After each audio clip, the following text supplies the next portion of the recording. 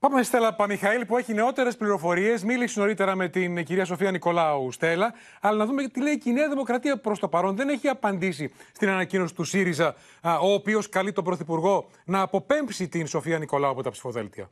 Νίκο, η Νέα Δημοκρατία δεν έχει εκδώσει επίσημη ανακοίνωση. Ωστόσο, γαλάζιες πηγές που συνομιλήσαμε μαζί τους επισημαίνουν ότι η κυρία Νικολάου έδωσε αναλυτικά τις εξηγήσεις της. Προσθέτουν πάντως ότι πριν την ανακοίνωση των ονομάτων στα ψηφοδέλτια θα ζυγιστούν όλα.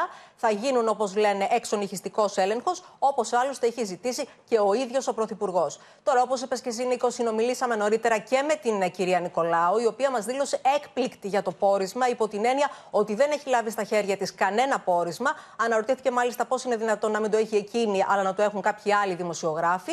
Ω προς το περιεχόμενο τώρα του πορίσματος, αν όπως είπε είναι αυτό, εκφράζει κάποιες ενστάσεις, διότι όπως λέει έχει στα χέρια της έγγραφα τα οποία αποδεικνύουν ότι όλες οι αναθέσεις έγιναν με νόμιμες διαδικασίες. Μάλιστα λέει ότι υπήρχαν υπογραφές και από την οικονομική υπηρεσία της αντεγκληματικής πολιτικής και εκείνη έδινε την τελική υπογραφή. Και απειλεί με προσφυγή στη δικαιοσύνη, Νίκο.